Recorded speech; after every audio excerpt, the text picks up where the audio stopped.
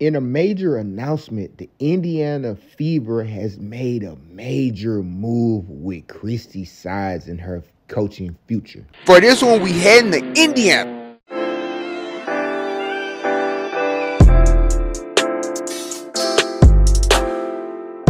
So Caitlin Clark will have a new coach for her second WNBA season. The Fever announced Sunday that they have fired Chrissy Sides after two seasons and a 33 and 47 record, with the most recent campaign featuring Clark, the number one overall pick in the 2024 WNBA draft, and an in-season turnaround that ended with the number six seed in the playoffs after a brutal start. Now, I'm pretty sure the whole year it's been known that a lot of fans wanted Chrissy Sides gone. Um, some of the questionable decisions, but some people were also saying that you know give her opportunity, give her a chance. Um, first year they had the number one pick last year.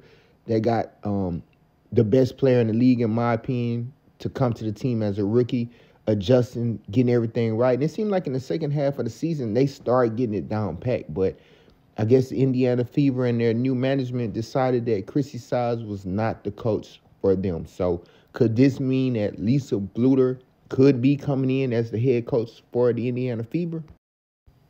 I definitely think it would make a lot of sense that – if you're going to get rid of Chrissy Sides after this first year, you're bringing in somebody that you've been wanting to bring in for pretty much this whole year that you've been watching. And what better player, coach to bring in than Lisa Bluder to implement her type of offense and what works right for Caitlin Clark? And could that mean a situation where Kate Martin is a part of the team? I'm really liking where this is going. I think Chrissy Sides did a decent job.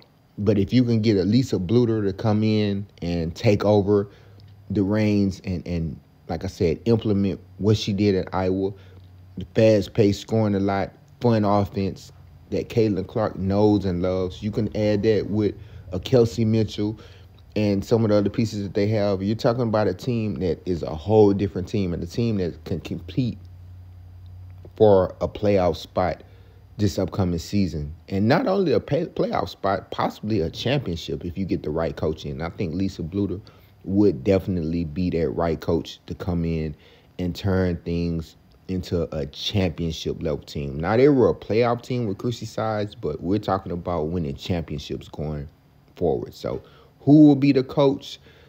Could it be one of the, the coaches that was fired or, or left like the Connecticut Sun head coach. We're gonna see how it plays out. But y'all let me know what y'all think in the comment section.